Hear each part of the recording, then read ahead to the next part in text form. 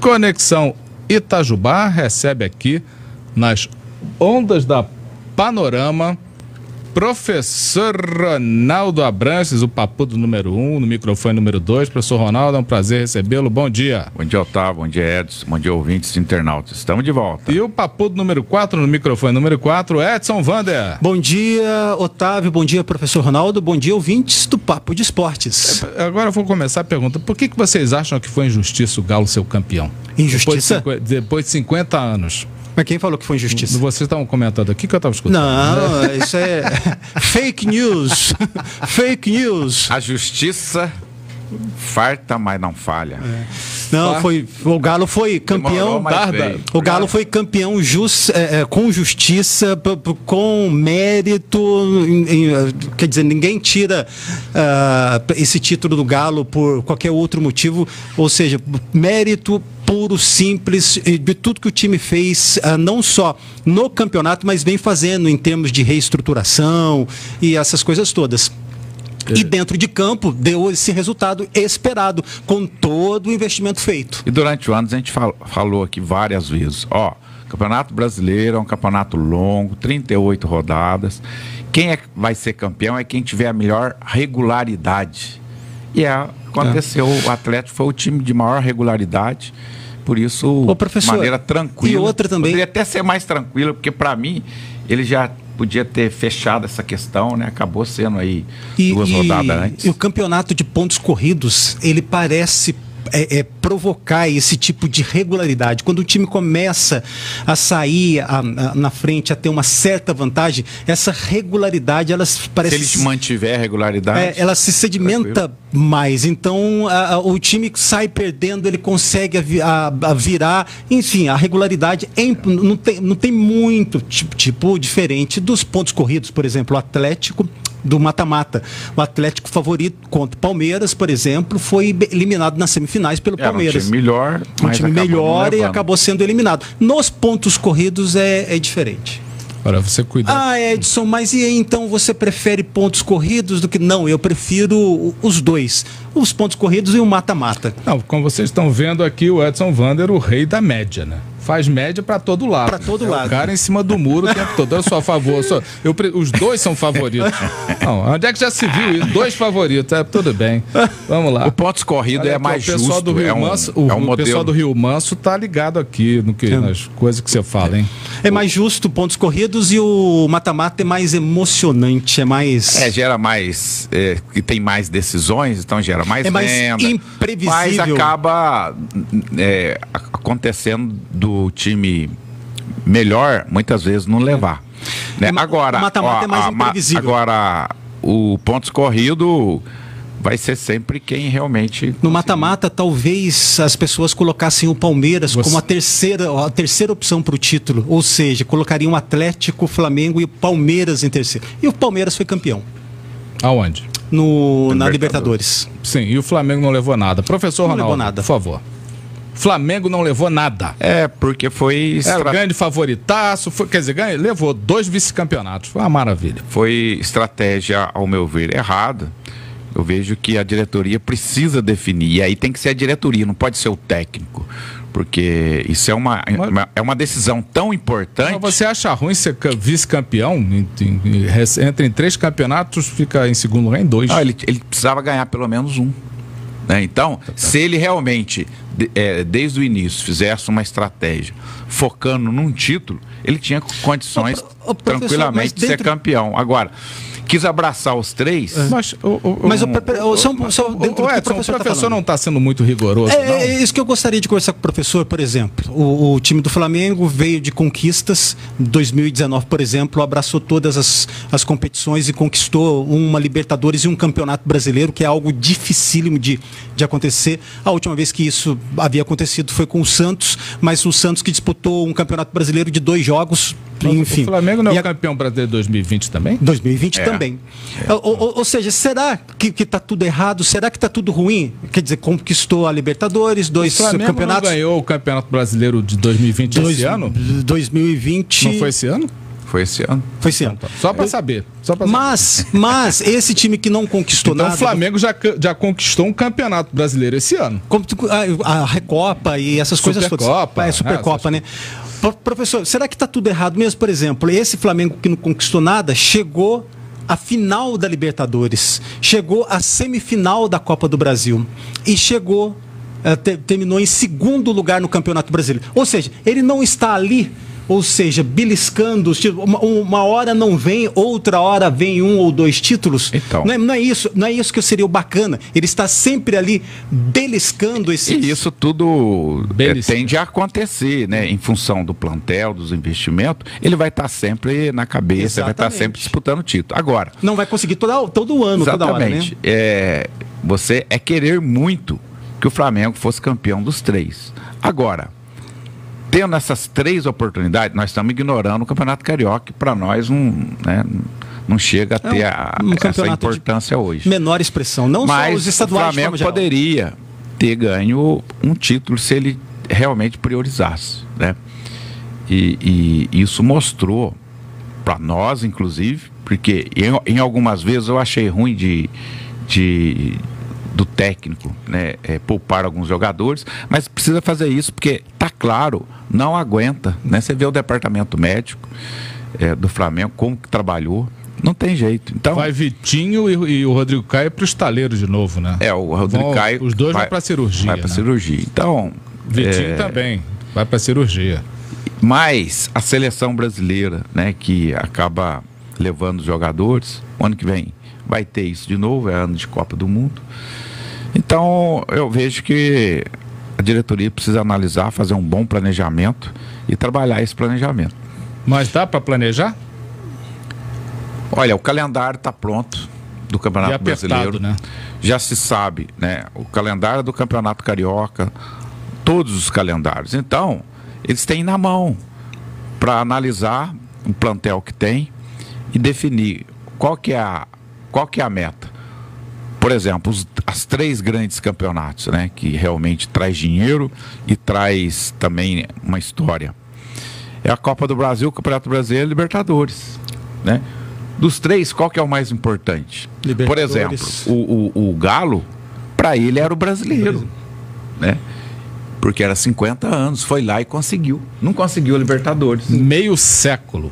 Meio século. Então, é, o Flamengo senhor... vai ter que fazer isso. E aí a torcida vai chiar, não vai aceitar.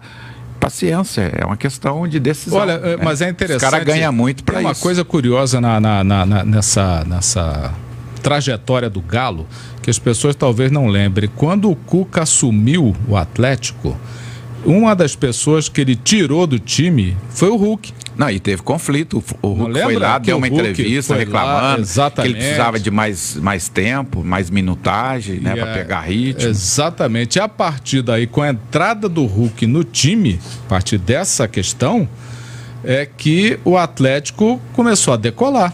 E, e outra coisa, muito se deve a excelentes atiradores que tem naquele time, o Keno é um deles, e a força do Hulk, porque ele não está na média de, de, de, subidas e descidas nas oscilações. Ele manteve regularidade. Do, do, porque a, a algum, essa, essa baixa que ele teve aí alguns, algumas rodadas atrás foi uma baixa tão sutil é. que ele continuou. Isso com 36 ele, anos. E ele conseguiu. É, é um, cara tem... o cara é um trator. Exatamente. Ele não Parabéns. teve problemas com lesões ou com convocações, por exemplo. Ficou o tempo todo ali no, no, no Exatamente. Outra questão que eu, com a diretoria do Flamengo tem que fazer é fazer uma revisão no departamento médico, fisiológico, para saber se o que mais tem influenciado uma um índice tão alto né, de contusões, de afastamento, precisa fazer uma avaliação. Agora, né, como toda empresa precisa fazer uma avaliação, o Flamengo precisa também. O Corinthians em, em, chegou em quarto lugar, está lá em quarto lugar com 52 pontos. Ele está 10 pontos atrás do terceiro colocado, mas colado no Corinthians com um jogo a menos está o Fortaleza e com o mesmo número de jogos está o Bragantino. Esses três estariam disputando. Aliás, o Bragantino não chega mais, mas o Fortaleza pode pegar esse, essa, esse quarto lugar do Corinthians? É o Fortaleza. Na verdade, Fortaleza ele já está né? Ele está em quinto Já, lugar. Ele está na, ele tá na Libertadores. Ele está né? na Libertadores. Então... É, ele está com 55 pontos, falta dois jogos, tem seis a ser disputado. Agora nós estamos falando aqui. É, Otávio, de... quando você fala que o Bragantino não está mais, não está mais entre não. os quatro do que grupo. vão direto à fase Exatamente. de grupos. Lembrando que do, do primeiro vai. ao sexto se classificam para a Libertadores. Ele, vai. ele não pede para o Fluminense. na realidade, Libertadores até o oitavo, né? É, sim, é, agora sim. é. Tem, tem. É G8. É G8 virou G8. Sendo que o, o sétimo e o oitavo é, vai para pré. Né? Agora vamos lá para a parte de baixo. Nós temos aí. Aí que está a emoção agora. Os quatro últimos: Cuiabá, Grêmio, Esporte, Recife, Chapecoense. Esporte já rebaixar com a Chapecoense e o Grêmio, professor Ronaldo. Olha, o Grêmio está praticamente rebaixado, virtualmente rebaixado. É muito difícil a situação do Grêmio. Ele pode ser rebaixado hoje, desde que Juventude, Bahia, porque veja, veja bem, é, Bahia, Juventude, Cuiabá estão com 43 pontos. O Grêmio só pode chegar a 43.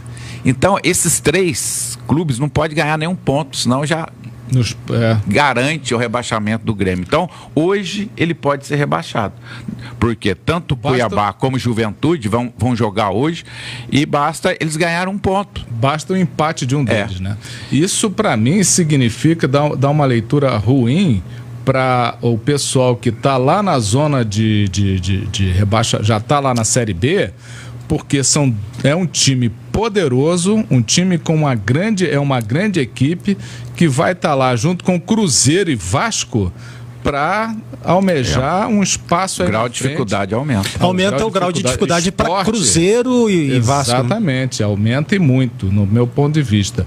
Bom, professor Ronaldo, nós temos aí também na Copa do Brasil Atlético Paranaense e Atlético Mineiro. Qual Atlético que ganha?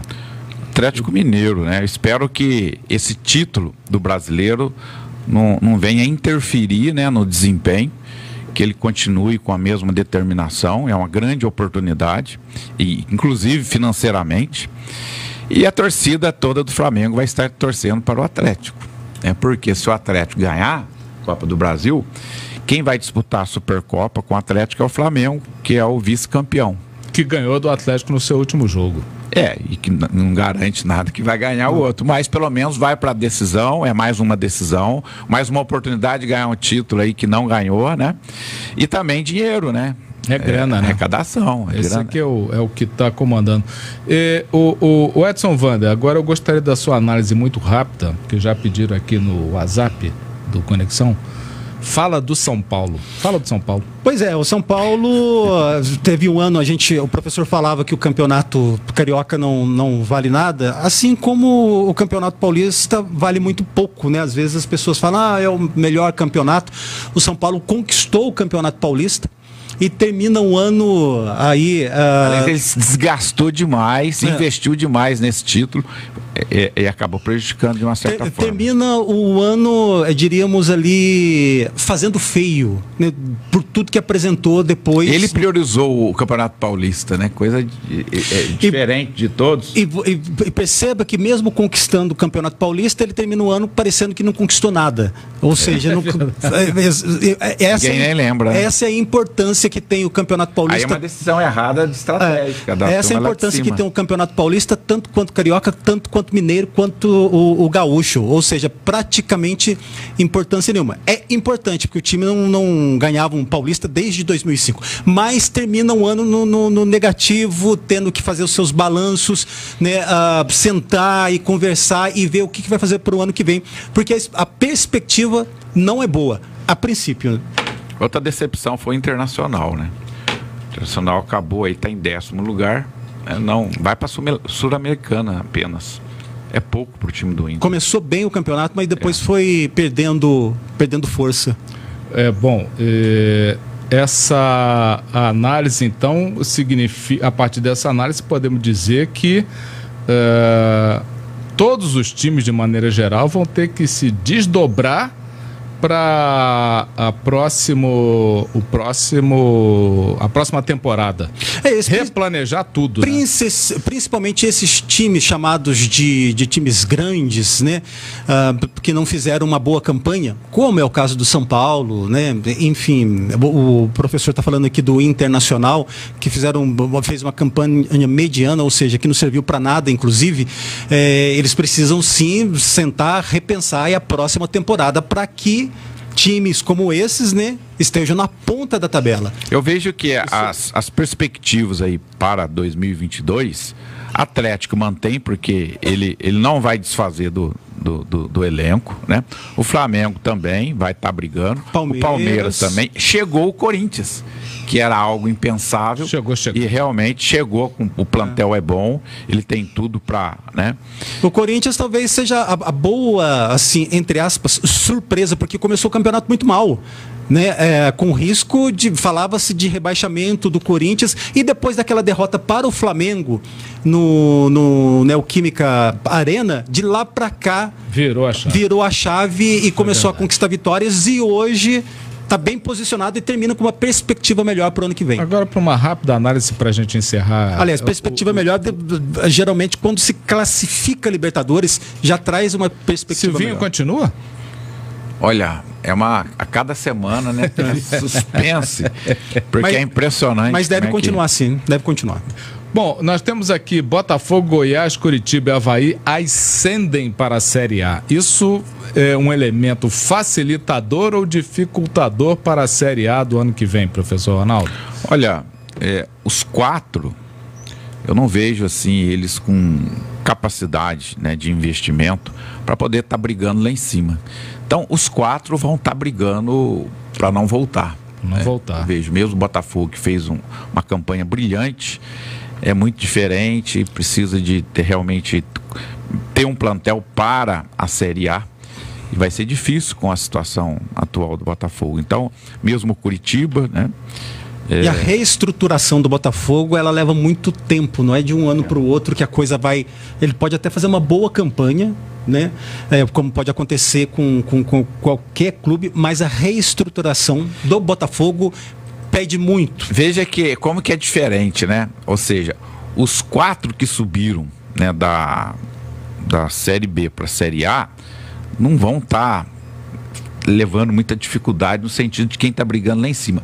Mas quem caiu vai trazer dificuldade o pessoal da Série B. O Grêmio é um deles, porque é, é, é inexplicável. Tem que fazer um estudo aprofundado para entender pra entender, né? Ali houve problemas no comando do futebol, porque o, o, o, o Grêmio é tem uma questão. O que o professor está querendo dizer é que um bom plantel. O que o professor está querendo dizer é que no caso de Vasco e Cruzeiro até se entende por que eles vieram cair por questões de administração que a gente já falava aqui, que não é o caso não do Grêmio. Não é o caso do Grêmio. O Grêmio é. até pouco em tempo estava conquistando Copa do Brasil, Libertadores, disputando na ponta. O Renato Gaúcho volta para o Grêmio, professor? Eu vejo grandes possibilidades. Né? E, e, pode dar liga, como deu. Né? Como sempre tem, deu, né? É, futebol, na vida, tem essas situações. Então, de repente, ele vai ser feliz lá de novo. É. Né? E a grande questão, interrogação é quem comandará o Flamengo em 2022? Quem comandará o Flamengo em 2022, Edson Wanda? Quem comandará o Flamengo em 2022? J. Estamos negociando é, aí um, um ah, novo cê, técnico. Está negociando, então tá beleza. Tem que ser estrangeiro. Aí já até sugeriram, tem que falar inglês. Até sugeriram tem, tem o, o Joel Santana, que fala inglês muito bem. sim, Não, sim. E, enfim, mas enfim. Vamos ver. Bom, é, no Campeonato Municipal de Futebol aqui de Itajubá, o Diamantes empatou com o Meninos da Colina na Série B 0 a 0 Piedade deu de 7 a 0 no Opa. Pedrão também pela Série B. Os Los Vadios, Vadiando, venceu o HL Itajubá por, Los Vadianos, bom, hein? Por 6 a 1 Série D. Amigos Resenha foi derrotado por 3 a 2 pela União, Série D. Juventus, a Juve, a Vecchia Senhora Itajubense, empatou com União em 1 a 1 Brasfoot 0 a 0 com Barreiro. E o Huracan 6 a 0 no Santa Cruz. Esses foram os últimos jogos da, do Campeonato Municipal de Futebol. Professor Ronaldo, muito obrigado. Eu que agradeço aí. Uma ótima semana a todos. Edson Vander. Um abraço, Otávio, professor Ronaldo, ouvintes do Papo de Esporte. Até a próxima. Até a próxima. Esses foram os papudos número 4, número 1, professor Ronaldo Abranches e Edson Vander participando aqui do Papo de Esporte, que volta na próxima segunda-feira.